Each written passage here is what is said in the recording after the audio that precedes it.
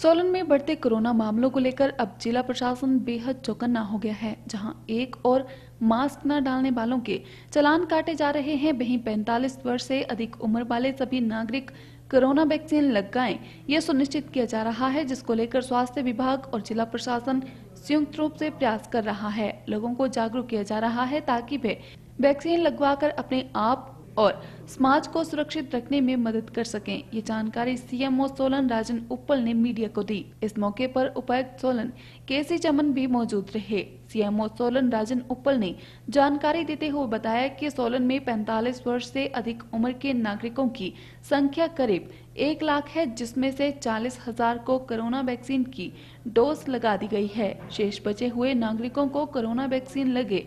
इसके लिए जिला प्रशासन और स्वास्थ्य विभाग द्वारा संयुक्त रूप से अभियान चलाया जा रहा है। इस अभियान के तहत सोलन में टीका महोत्सव मनाया जाएगा, जिसमें कोरोना वैक्सीन लगाई जाएगी। टीका महोत्सव 11 अप्रैल से 14 अप्रैल तक मनाया जा रहा है। जिला सोलन में ये विभिन्न क्षेत्रों में एक साथ चलाया जाएगा ताकि सभी को कोरोना वैक्सीन लग सके। टीकाकरण महोत्सव सरकार की बहुत ही अच्छी सोच है, क्योंकि आपने देखा होगा कि पिछले एक महीने से केसेस में बहुत ज़्यादा बढ़ावा आया है और ये सेकेंड वेव हमारी चलनी शुरू हो गई है। टीकाकरण से क्या फ़ायदा होगा कि री इन्फेक्शन तो किसी को भी हो सकता है, पर जो इन्फेक्शन है, वो इतना घातक नहीं होगा, आदमी को नॉर्मल सा ही होगा और वो बिल्कुल ठीक हो जाएगा। टीकाकरण महोत्सव है, ये 11 अप्रैल से 14 अप्रैल तक मनाया जाएगा।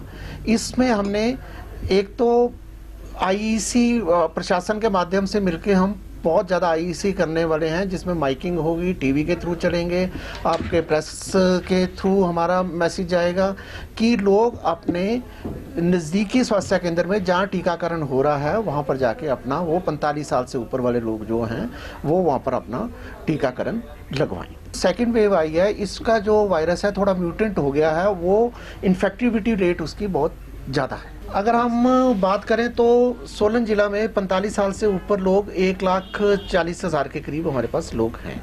अभी तक हमने पचास हज़ार के करीब वैक्सीनेशन कर ली है और हमारा अभी तक जो वैक्सीनेशन हम करते आए हैं, वो रोज़ की तीन हज़ार के करीब हम वैक्सीनेशन करते आए हैं। पर इस महोत्सव में हमारा टारगेट दस हज़ार रोज़ करने का होगा और चार दिन में हम चालीस हज़ार करने की पूरी कोशिश करेंगे। इसमें हमने अपनी साइट्स भी बढ़ाई हैं वैक्सीनेशन साइट्स अभी तक हमारी चालीस पैंतालीस के करीब है, जिसको हम सौ तक करने वाले हैं। और साथ में वर्क प्लेसेस में भी वैक्सीनेशंस लगाई जाएँगी। जो जो वर्क प्लेस जैसे फैक्ट्रीज हैं, बड़े ऑफ़िस हैं मतलब जहाँ पर 60-70 से ज़्यादा बेनिफिशरीज लोग हैं, वहाँ पर वहाँ पर ही सेंटर लगा दिया जाएगा और उनको वैक्सीनेट